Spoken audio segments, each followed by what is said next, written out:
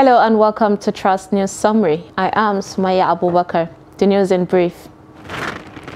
Gunmen have attacked the Independent National Electoral Commission office in Enugu South local government area, killing one police officer. INEC National Commissioner Festus Okoye, in a statement on Monday, said fortunately the attackers could not gain access to the main building as a result of the rapid response from the police and army personnel from the 82 Division. The arraignment of Drambi Vandi, the policeman accused of killing a Lagos-based lawyer, Omobolanle Raheem, on Christmas Day last year, has begun at the Lagos High Court, sitting at the Tafawa Balewa Square. Vandi was arraigned on a one-count charge of murder before Justice Ibironke Harrison.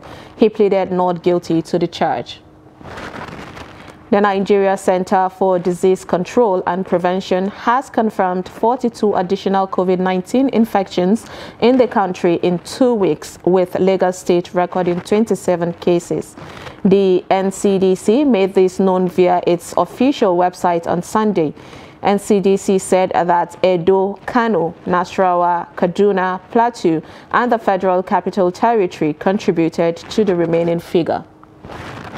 And lastly, an Egyptian court on Sunday handed down life, uh, life prison sentences to 33 pe 38 people, including a self-exiled businessman whose social media post helped to spark anti-government protests.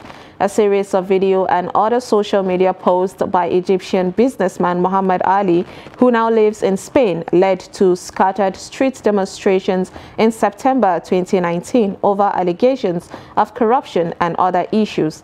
23 of those who got life term um, were, tired, were tried in absentia.